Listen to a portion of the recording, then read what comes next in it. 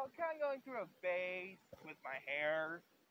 Yeah, I know, I should do a before and after haircut, like I did way back in October. But, uh, yeah, I gotta sit down. Ah! Ouch. Sorry about that, guys. I just fell for no reason.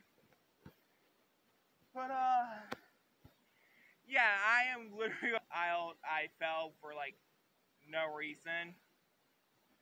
Uh, but I'm gonna probably change it up a bit, so, yeah, um, anyway, guys, so y'all have been wondering, how come I've been, not been uploading, uh, Facebook gameplay this week? Well, I was kind of busy, like, dealing with some stuff, like, you know, like, doing with my ankle, and, uh, finish up on, uh, the quarry, which, yes, I actually did beat the game after I got it just a day after it was, uh, delivered. But, yeah, guys, um, Anyway, uh, yes.